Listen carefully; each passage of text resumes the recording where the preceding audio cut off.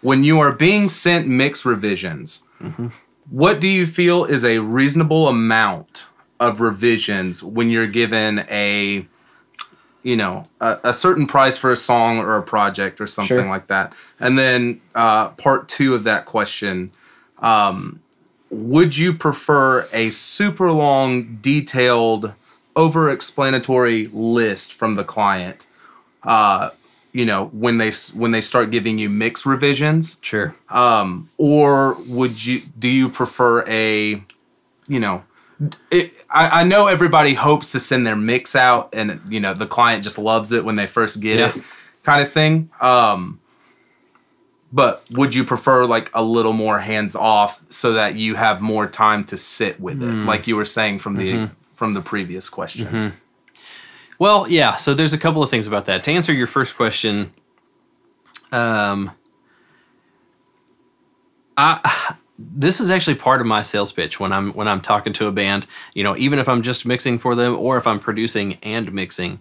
One, one of the ways that I try to reel people in, and one thing that I've done with some success for the past you know five or six years uh, is to just say you know I, i'm going to say five years because at the beginning i didn't do this. You know i had a you know i had it written into a big contract that i would send out to them that you get three mix revisions you know because at that stage i was working for pretty cheap trying to build my you know build my client list and and uh, and largely i did i was just a beginner. I didn't really know what i was doing.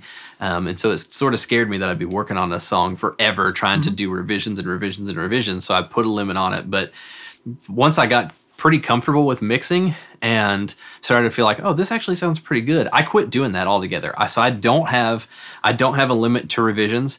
I will revise a song endlessly with a client, and I think that probably scares some people. They're like, oh man, you're gonna get really really trapped into in, in- into mixing the song forever, you know, and and certainly that's always a possibility. That's never ever happened to me. Uh, I've never been mixing a song, and I just thought this is ridiculous. They're asking for so many things. more and- cowbell yeah, they're yeah, exactly. They just keep going back with the same thing.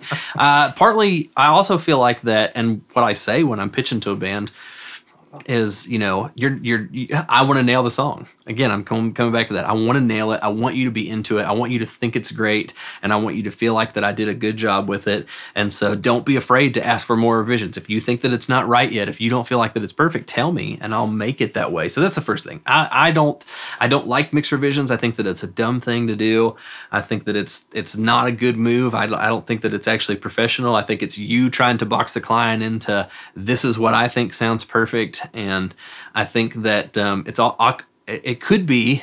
Um, I might step on some toes by saying this, but I think it could be a little bit of a good litmus test that if you're getting to mix revision 8 or 10 or 12, that you might need to go back uh, to the drawing board and maybe either start over fresh on the mix or you might there might be something it might be a good point for you to ask for help from another more experienced mix engineer and, and somebody that you trust somebody that cares for you as a mixer as a producer that's going to tell you the truth. I can't tell you how much that has helped me time and time again that the people that are my mentors i've had the freedom to go to them ask for help and that i can trust their opinion of my work and know that they um, aren't trying to hurt my feelings and that they're going to help me get better. And so, you know, that's this is a really long way to say I don't think you should do mix revisions. I think that you should get good enough that the revisions are that the band is into the mix and that the revisions that you're doing are just usually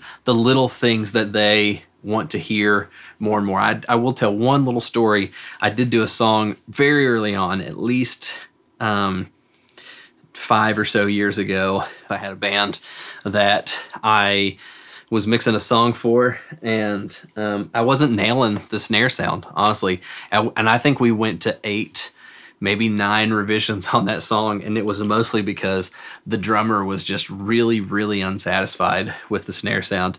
Yeah, there was there were mix revisions in there that had uh, a really dark, explody sounding snare sample that I put on there to try to beef it up, and that didn't sound right to him because he tunes his snare really high and it's a very short decay, and so that sounded wrong and weird to him. It was powerful, and it's mostly just and, and, and it kind of it, it might have worked but it wasn't his preference. And so that you know wasn't working for him. And then by mix four or five i had taken all the samples away. And so then they were like oh now it sounds better because the samples are gone. But they're like this is weird and this is weird. And the the more that i went back and tried to re work on that kick and snare sound mostly the snare but some of the kick too to try to get them to work together the band just didn't they weren't into it you know? And i I don't know if they just settled, you know, and got tired of doing revisions. I would have done more if they kept asking for it, but by like eight or nine or wherever we got to, they they finally they finally were fine with it, and it was mostly centered around that one thing. But I think I think it's just um, you know. I can remember going to my friend Neil and being like, "Hey man, you know, I'm just not nailing this." And the band is like, you know, he's like, "Oh, I think the snare sound is fine," but he's like, "Here, you could do this and this and this," and he gave me like three or four pointers. And by the time that I got that advice, that's what ended up helping me be able to mix it to where the band finally accepted the mix. So I think don't have revisions. And then what was your second question? There was a second part to that. I don't know if I touched Oh, on it. the uh, uh, Detailed list. yes. Yeah. Um, so I like to get it somewhat of a detailed list. I usually ask for one specific thing, and I think that this is probably a good practical tip. I usually ask for them if they are going to get really specific to give me things like timestamps. You know, if there if there's a part that they're not feeling, you know, sometimes the band will be like, "Hey, you know that one guitar part right before the chorus." Well, that doesn't help me because there might be four or five guitars going on at that. That's just silly. Uh, so usually I ask them to give me timestamps, and that helps me to zero in on what specific thing that they want, you know, to be louder, quieter, whatever it is. And so I, I, try to be if they're going to give me if I think they're going to give me a detailed list, I try to be specific in what I ask for and make sure that I get um, get the details that are going to help me go right to the spot and find it quickly and make the revision and then move on. And so usually what I'll do is I'll get all their revisions and put it in a Google Doc and put it on bullet points. And then I'll go through and I'll have that, doc, that Google Doc up while I'm going through the song mm-hmm. and I'll make the revision and then I'll erase it off the Google Doc.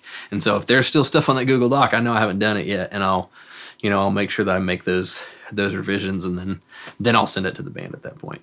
So That- That's awesome. it really depends on the band too. You know, some bands are going to give you that, and you'll get. Uh, I've got mixed revisions to do for a band right now, and I have pages. I have four. It's a four song EP, and I have four pages of notes to go with it, and so and, and that's fine. That's that's who that band is, and they're they're being very detailed. And then I've had other ones where, you know, it's three songs, and there's like five bullet points on a thing. They're like, in this song do this, and this song do this, and in this song do this. The vocals too loud. This is too. You know, it's they're more broad. So, really just depends on the band.